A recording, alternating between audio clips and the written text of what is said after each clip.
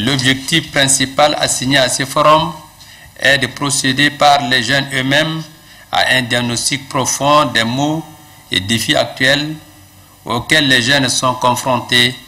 en vue de leur apporter des réponses appropriées. Au cours de ces forums, des thématiques impactant le devenir de la jeunesse tchadienne seront débattues et des recommandations et résolutions qui en sortiront serviront de documents cadres au gouvernement pour agir plus efficacement en faveur de leurs émettres. Ce forum sera une tribune d'expression et une opportunité offerte aux jeunes de 22 provinces du pays, des 10 communes de N'Djamena et de la diaspora de se retrouver pour réfléchir sur leur sort et proposer eux-mêmes au pouvoir public des solutions idoines pour leur plein épanouissement.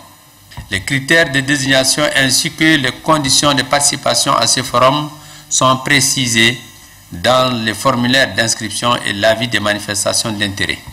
qui sont disponibles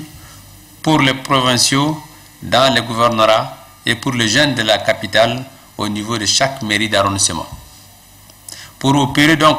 un choix judicieux et rigoureux des jeunes qui vont participer au forum, les gouverneurs des provinces ainsi que le maire des 10 arrondissements de N'Djamena sont responsabilisés pour veiller personnellement de manière à désigner de jeunes éveillés, représentatifs et dynamiques pour prendre part à cette rencontre.